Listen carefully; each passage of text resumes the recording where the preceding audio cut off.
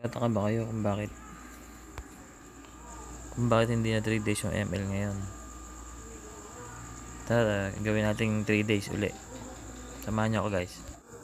Magre-register tayo, magre-register tayo ng ML 10 for 3 days. Ito guys, dati number 8 lang pinipili dito. Ngayon iba na, all net and other.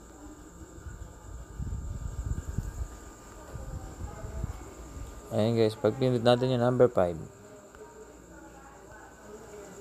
lalabas yung FB, tsaka ML.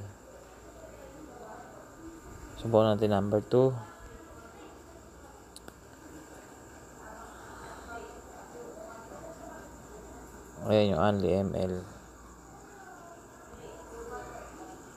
Ang lumalabas dyan ngayon, ah one day for 10 pesos. Dati 3 days eh. For 10 pesos. Ngayon, parang lugi tayo dito. Ang gagawin natin ngayon guys, bako muna ha.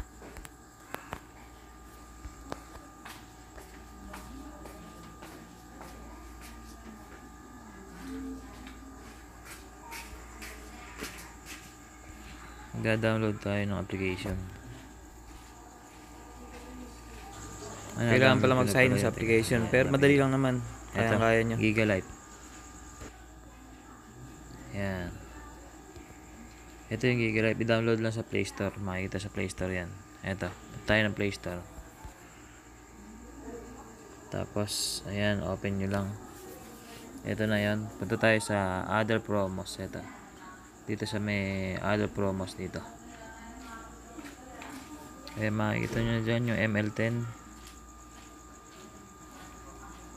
Yung ML tapos may FB. Click natin yung ML. Ayan, makita nyo na guys. Meron dyan na 3 days 1 gig tapos yung 7 days na 500 gig. So ayan, subukan natin mag-register. Click lang natin. Ayan, ah, ang load natin ay 18 pesos. Subscribe lang tayo, pinutin natin subscribe.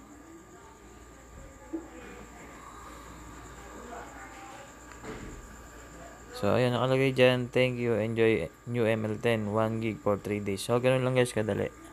So, ayan, sa mga nakagusto ng video, ah, huwag kalimutan i-subscribe ang aking channel, Joy TV, at hit na rin ang notification bell para updated kayo sa mga video pa natin i-upload. Maraming salamat.